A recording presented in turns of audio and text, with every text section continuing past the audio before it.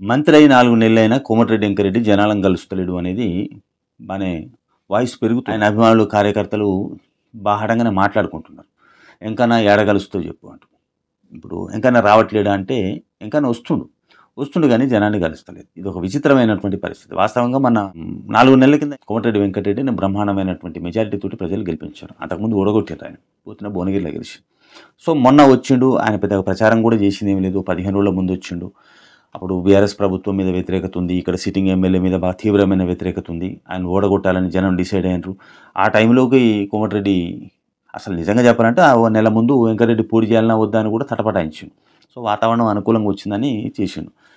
నేనే సరే వార్త పెట్టా ఎన్నికల షెడ్యూల్ ఇచ్చి ముప్పై రోజులు అయింది మూడు రోజులే ప్రచారం చేసిండు. మొత్తం షెడ్యూల్ వచ్చిన తర్వాత మూడు రోజులు ప్రచారం చేసిపోయాడు కరెక్ట్గా ఆయన ఒక పదిహేను రోజులు తిరిగిండు పదిహేను రోజులు కూడా పది రోజులే తిరిగాడు జనాలు. సరే ఆయన గీత బాగుంది గెలిచాను సంతోషం ఆయన మంత్రి కూడా అయింది సో అయిన తర్వాత ప్రజలకు అందుబాటులో ఉంటారని చాలామంది భావించారు. కానీ నాలుగు నెలలు అయినా కానీ ఇంతవరకు కోమటిరెడ్డి వెంకరెడ్డి నల్లగొండలో పండుకోలే. ఆయన కాన్స్టిట్యున్సీలో పండుకోలే. వస్తుండు పోతుండు ఓ రామచిలుక అన్నట్టు ఉంటుంది. ఈయన వారానికి ఒకసారి లేదా రెండు సార్లు వస్తుండు. ఈయన పర్యటన మొత్తం నాలుగు గంటలే నల్గొండల మూడున్నర నాలుగు గంటలు టౌన్లో తిరుగుతున్నాడు. సరే వాళ్ళు షెడ్యూల్ ఇస్తారు ఎనిమిది గంటలకు ఆర్ అండ్ బి మినిస్టర్ వస్తుండు రెండు గంటలు వచ్చే ప్రయాణం పోయే ప్రయాణం రెండు గంటలని కానీ ఆ ఈ జనానికి అక్కర్లేని కదా. నల్గొండ టౌన్లోకి వచ్చిన తర్వాత మూడు నుంచి నాలుగు గంటలు ప్రయాణం చేస్తుంది. ఆయన వచ్చేది పదకొండు గంటలకేమో. చక్కగా కలెక్టర్ ఆఫీస్కి పోవడం. అప్పటికే అందరికీ ఆఫీసులో పనిచేస్తూ ఉన్నారు కదా. సార్ వస్తుండు సార్ వస్తుండు అనగానే పాపం వాళ్ళ అమాయకులంతా దరఖాస్తులు పట్టుకొని వస్తున్నారు. అదో ఇదో ఇద్దామని. వాళ్ళు ఏం కలుగుతారు ఎంకరెడ్డి ముందర పోతుంటే వెనకంగా ఉరికారు కొద్ది రోజులు రోపులు కూడా పెట్టారు. తర్వాత ఏమనుకున్నారో తీసేసారు సో కలెక్టర్ ఆఫీస్కి పోతే ఆయన ఏదో రివ్యూ మీటింగ్లో ఏదో మీటింగ్లో పాల్గొ పాల్గొంటారు. ఈ జనం అంతా దూపకు ఆకలికి ఎదురు చూసుకుంటే కడుపులు మార్చుకుని బయట నిలబడతారు. ఓ గంట సేపు ఆడ గంట రెండు గంటలు కాగానే మళ్ళీ ఇటు పోతాడు ఆయన భోజనం చేసి మళ్ళీ వెళ్ళిపోతున్నాడు జనాలను కలుస్తలేడు కొంతమంది కొద్దిగా ఆర్థిక వసూలుబాటు ఉన్న వాళ్ళు హైదరాబాద్ పోగలిగిన వాళ్ళు హైదరాబాద్ పోతే ఇక్కడికి ఎందుకు వచ్చినారు ఆయన అక్కడ ఆఫీస్లో ఉన్నారు వాళ్ళని కలువ ఇక్కడ ఇద్దరు ముగ్గురు పెట్టుకున్నాడు ఆయన కోటరి. ఇద్దరు ముగ్గురు ఎవరి పనాలే? ఎవరి తలుపులు ఆడు పెట్టుకుని ఎవరి దందాలు ఆలు చేస్తున్నారు తప్ప జనాలను కలవట్లే. ఎన్నికల టైంలోనే తలుపులు బర్లా చుట్టి ఒక్కొక్కరు ఇళ్ళకి పోయి నూరా అన్న నూరా సహకరించాలి చేయాలని మాట్లాడిన వాళ్ళు అధికారం వచ్చిన తర్వాత వాళ్ళ లాంగ్వేజ్ మారింది బాడీ లాంగ్వేజ్ మారింది. నిజంగా చెప్పాలంటే ఎంకనకు అంతకంటే ముందు బొక్క కొట్టింది వీళ్ళే. వడగొట్టడానికి కారకులు వీళ్ళు వీళ్ళ ప్రవర్తనతోటే జనానికి విసుగొచ్చింది. సో ఇప్పుడు మళ్ళీ అదే మొదలైంది.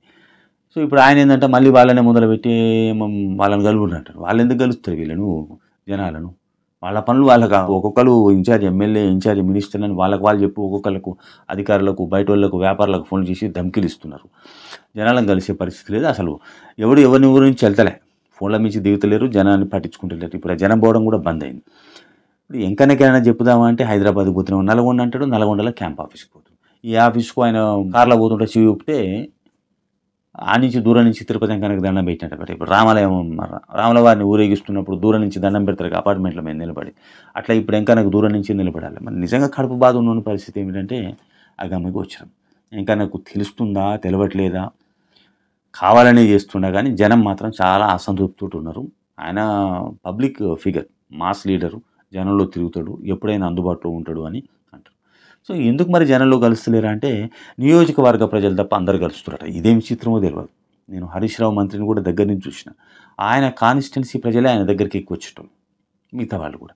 ఇక్కడ దరిద్రం ఏమిటంటే కాన్స్టిట్యున్సీ ప్రజలు పోతలేరు. కాన్స్టిట్యున్సీ ప్రజలకు అక్కడ సందర్శనలు లేవు. ఇంకా దగ్గర సందర్శకులు అంతా బయట వాళ్ళట మరి ఈయన ఏం దందా చేస్తుండే ఏం పనులు ఏం అర్థమవుతలేవు కానీ నియోజకవర్గ ప్రజలు మాత్రం పోవట్లేదు. ఇది బయటపడే పరిస్థితి వచ్చింది కొద్దిగా. రోజు రోజుకి ఏంటంటే అది జనంలో బాగా చర్చకు వచ్చింది ఆయన కోసం చాలా కష్టపడి పనిచేసినటువంటి వాళ్ళు ఆయన మీద మంచి అభిమానం ఉన్నటువంటి వాళ్ళు కూడా ఇవాళ బాహటంగా మాట్లాడుతున్నారు. ఏమైనా ఇంకైనా పరిస్థితి ఇట్లా ఉంది? కోమటిరెడ్డి మారిపోయిండు. ఎప్పుడు ఈ పద్ధతి లేదు ఎందుకో ఇట్లా మారిండు. మొత్తం ఎవరికో గుడుగుతగా లీజుకి ఇచ్చినట్టు ఇక్కడ కొంతమందికి ఇచ్చిపోయిండు కోటరీకి వాడు ఎవడేం చేస్తుండో అర్థమవుతలేదు ఇది పరిస్థితి ఉన్నది అని చెప్తున్నారు వెంకటరెడ్డి కలిసి జనంలో కలుస్తలేడు కూడా. ఈ మధ్య నేల మార్గంలో కాకుండా హెలికాప్టర్లో కూడా తిరుగుతున్నాడు ఆయన. ఏ అవకాశం వచ్చినా మన ఏదో మటన్ పెళ్ళికి వస్తే పోయిండు అంతకుముందు సార్ నల్గొండకు వస్తే పూలు జాలిచ్చుకున్నాడు ఇవి కూడా ఉన్నాయి. జనం నేల మీద నడుస్తలేడు. ఇంకా నేల మీద నడవాలని జనం కోరుకుంటున్నారు. నేల మీద నడిస్తే మేము కలుస్తాము మా బాధల సాధకాలు వింటాడు. అందుకనే మేము గెలిపించుకున్నాము. ఆయన మాస్ లీడర్ మాస్ లీడర్ లెక్కనే ఉండాలని కోరుకుంటున్నాం. కోమటిరెడ్డికి ఇది అర్థమవుతుందా?